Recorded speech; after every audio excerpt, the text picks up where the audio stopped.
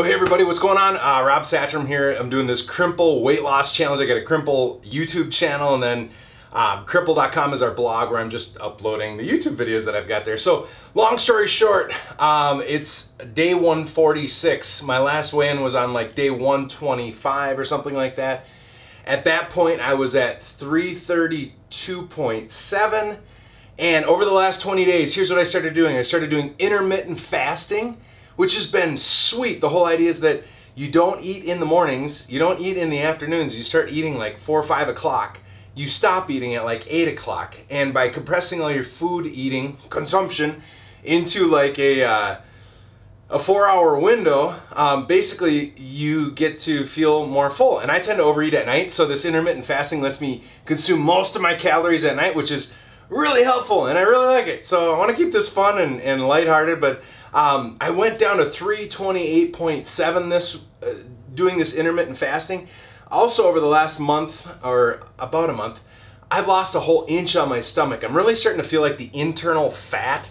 I know I don't know if that's called visceral fat, but the stuff that's not on the outside, the outside stuff's going down, but the inside stuff I can tell is starting to to go down. So I know that um, I'll show you some pictures here. I'm definitely starting to lose the roundness um, compared to before. That's not like, it's not gone. I know that's a fact. So 332 to 328 over the last 20 some odd days. Been doing this intermittent fasting for about 10 days where basically I don't eat um, except for a four hour window at night. And when I do it, I've been eating these giant salads, like a whole bag of lettuce with a bunch of croutons and then a light balsamic vinaigrette. So I'm filling up on a bunch of greens, which I know is good.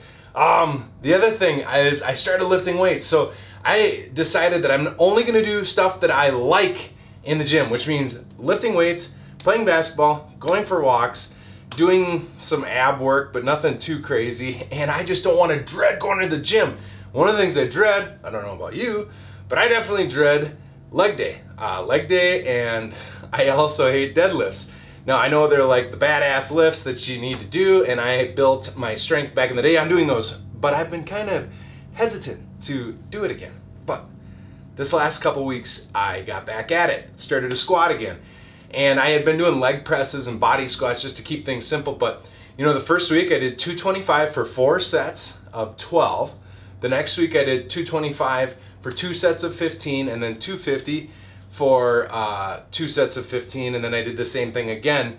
So I'm not going super heavy. I want to be really careful. I've got little injuries in my hips, in my, my big hips, and in my back and different things like that. So I'm just trying not to like kill myself. Now here's the other thing. I started running, jogging, just a little bit. And when you're jogging, when you haven't been jogging, it actually doesn't feel so bad.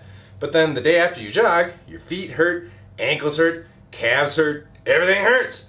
And I don't love that. So um, I've been trying to ease in and out of that, stretching my, my legs quite a bit. You know, it's just 328 pounds is a ton of weight to be, you know, putting on your feet and running.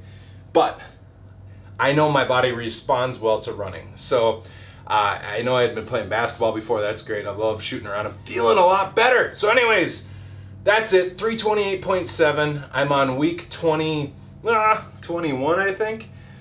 And uh, day 146, we're heading in the right direction. Please subscribe to the channel. I appreciate any encouragement you have.